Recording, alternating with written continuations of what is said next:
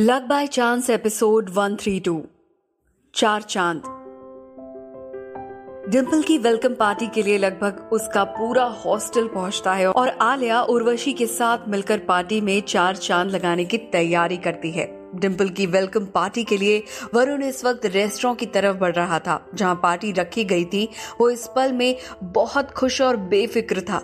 इस बात से अनजान कि उसकी इस आज़ादी के लिए उसके पापा शुक्ला जी और मिनी कितने जतन कर रहे हैं। आज शाम की डिम्पल की पार्टी के लिए रिया ने वरुण के कहने पर उसके हॉस्टल की कुछ फ्रेंड्स को भी इनवाइट किया था। और साथ ही उन्हें सख्त हिदायत दी थी कि कोई डिम्पल के सामने पार्टी के बारे में कुछ बात ना करे, क्योंकि ये उसके लिए एक सरप्राइज़ होने वाला था। हॉस्टल की लड़कियाँ आज रिया की हर बात मानने को तैयार थी, क्योंकि आज सिर्फ़ वो डिसाइड कर सकती थी कि किसे वरुण सिंघानिया की ऑर्गेनाइज की गई पार्टी में जाने का मौका मिलेगा या नहीं। और रिया खुद को इतनी इम्पोर्टेंस मिलती देख अपनी हँसी कंट्रोल नहीं कर पा रही थी। पार्टी शाम को थी, लेकिन यूनिवर्सिटी के गर्ल्स हॉस्टल में अभी से हलचल मची हुई थी। सारी लड़कियाँ अपनी बेस्ट ड्रेस पहनकर सबसे अच्छा दिखना चाहती थी, जैसे वरुण सिर्फ़ उन्हें ही देखने वाला हो। लेकिन सिर्फ़ रिया जानती थी कि वरुण पूरी शाम किसे देखने वाला है। बाकी लड़कियों की बातों से वरुण की दी जाने वाली पार्टी के बारे में उर्वशी को भी पता चलता है। और ये जानने के बाद कि रिया ने उस पार्टी में उसे इनवाइट नहीं किया है और वशी आग बबूला हो जाती है और खुद में बड़बड़ाते हुए कहती है, ये कैसे पॉसिबल है?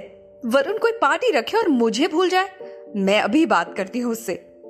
ये कहते हुए उर्वशी उस नंबर पे कॉल करती है जो वरुण ने उसे उसके कॉलेज की पार्किंग में दिया था। उर्वशी फ़ोन लगाकर बहुत प्यार से कहती है हेलो डार्लिंग पहचाना? उर्वशी की आवाज़ में फ़ोन की दूसरी तरफ़ से एक मर्दानी आवाज़ कहती है, पहचाना तो नहीं जी, लेकिन आप अपना नाम बताएँगी तो शायद पहचान जाऊँ।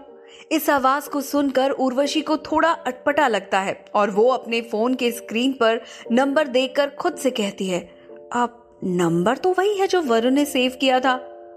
और फिर फ़ोन की दूसरी तरफ़ से बोल रहे आदमी से कहती है, हेलो, कौन बोल रहा है?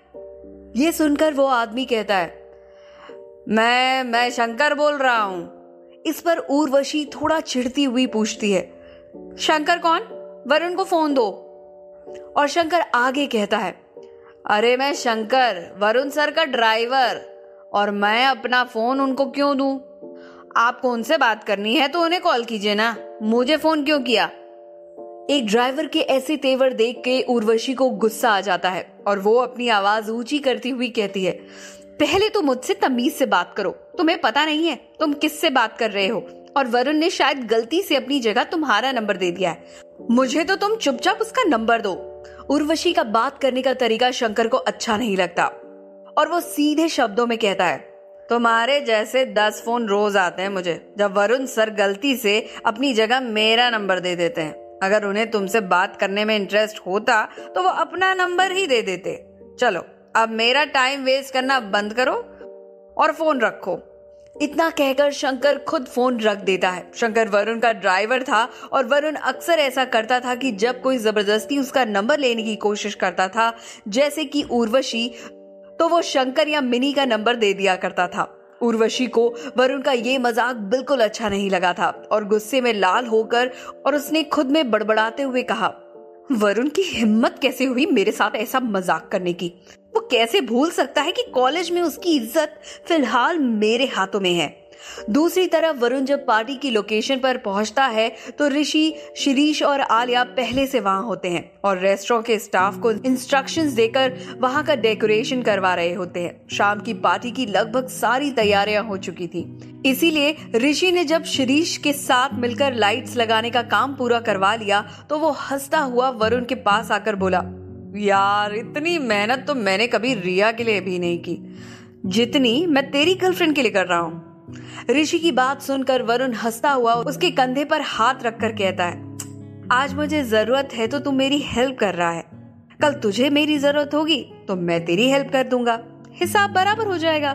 उन दोनों को ऐसे बात करता देख शिरीष बीच में कहता है मतलब मेरी गर्लफ्रेंड बनेगी तो कोई मेरी हेल्प नहीं करेगा। यार ये तो गलत है।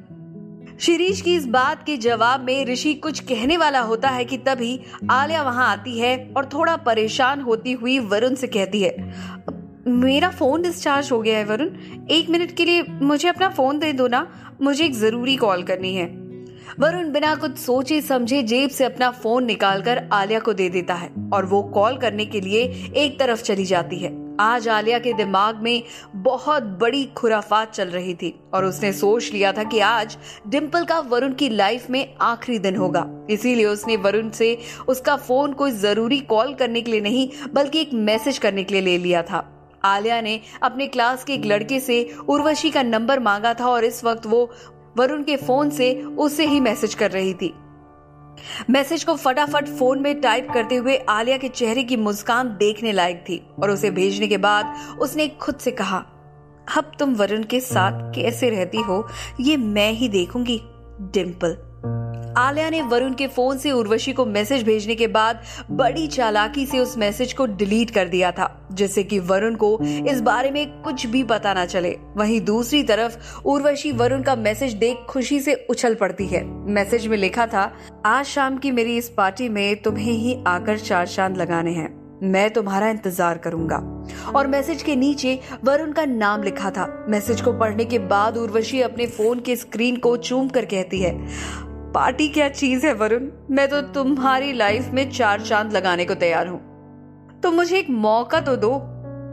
पार्टी का इनविटेशन इस तरह मिलने के बाद उर्वशी के पैर ज़मीन पर नहीं टिक रहे थे और उसका सारा गुस्सा जो वरुण के ड्राइवर से बात करने के बाद आया था, वो छू मंतर हो गया था। उर्वशी मन ही मन सोच रही थी, अब समझ में आया कि तुमने रिया से मुझे इनवाइट करने को क्यों नहीं कहा था, क्योंकि तुम खुद मुझे मैसेज करके मुझे स्पेशल फील कराना चाहते थे। मुझे नहीं पता था। तुम मुझे इतना पसंद करते हो। और क्योंकि मैं तुम्हारी पसंद हूँ, पार्टी में मुझे थोड़ा स्पेशल तो दिखना पड़ेगा। इसी सोच में डूबी उर्वशी मुस्कुराती हुई हॉस्टल की ज़्यादातर लड़कियों की तरह पार्टी की तैयारी में लग जाती है। धीरे धीरे शाम होती है और रिया डिम्पल के सामने एक ड्रेस लेकर रखती हुई कहती है, अब अपने घर से भाग कर आई हो। पार्टी की ऐसी कोई ड्रेस तो होगी नहीं, इसलिए तू ये पहन ले। रिया ने जो व्हाइट ड्रेस डिम्पल के सामने रखी थी, वो बिल्कुल नई थी। और उसके ब्रांड का नाम देखते ही डिम्पल समझ गई कि ये वरुण की पसंद है। डिम्पल रिया से कहने वाली होती है कि वो इतनी महँगी ड्रेस नहीं पहन सकती। लेकिन उससे पहले ही रिया उससे कह देती है कि अगर आज उसने कोई और ड्रेस पहनी तो वरुण को बहुत बुरा लगेगा। और वरुण के बारे में सोचकर डिम्पल आगे कुछ नहीं कह पाती। आज की पार्टी वरुण ने काफ़ी सिंपल रखी थी, क्योंकि उसे पता था कि डिम्पल को ज़्यादा चकाचौंध पसंद नहीं है। पूरा रेस्टोरेंट बुक करके वरुण ने अपने हिसाब से उसमें लाइट्स लगवाई थी, जिससे कि रोशनी मध्यम रहे और साथ ही उसने कोई बड़ा बैंड बुक करने के बजाय एक नए म्यूज़िक ग्रुप को मौका दिया था। जो छोटे से स्टेज के एक तरफ़ बैठा अपने गानों से पूरे रेस्टोरेंट का माहौल बना रहा था। रेस्टोरेंट का माहौल काफ़ी खुशनुमा था। और वरुण को पूरा यकीन था कि ये डिम्पल को ज़रूर पसंद आएगा। शाम के सात बज चुके थे और लोगों का आना शुरू हो गया था। डिम्पल के कॉलेज में काफ़ी कम लड़के उसके और उसके दोस्त थे। और वरुण उन्हें बुलाना नहीं भूला था। साथ ही ऋषि, शिरीष और आलिया के अलावा उसके कॉलेज के तीन चार दोस्त और आए थे। सारी लड़कियाँ एक से बढ़कर एक तरीके से तैयार हुई थी। इस बात से अनजान की वरुण की नज़रें आज सिर्फ़ डिम्पल पर होने वाली थी। वो हर तरीके से कोशिश कर रही थी कि वरुण एक नज़र उन्हें देखे। इसीलिए कोई लाकर उसे ड्रिंक ऑफ़र कर रही थी तो कोई उसके पास खड़ी होकर ऊँची आवाज़ में बात कर रही थी और कोई बार बार उसके सामने से गुजर रही थी। लेकिन इन सब बातों को नजरअंदाज करते हुए वरुण की नज़रें सिर्फ़ एंट्रेंस पर टिकी हुई थी। वरुण ने डिम्पल को लाने के लिए शंकर को अपनी कार लेकर भेजा था और उस बात को जब आधे घंटे हो चुके थे, इसीलिए वरुण ने अपनी घड़ी में टाइम देखते हुए कहा, आप कॉलेज से रेस्टोरेंट आने में तो मुश्किल से पंद्रह मिनट लगते हैं। फिर इतना टाइम क्यों लग रहा है इन्हें? तभी वरुण देखता है कि रेस्टोरेंट के सामने उसकी कार आकर रुकी है और वो दौड़कर बाहर की तरफ़ जाता है।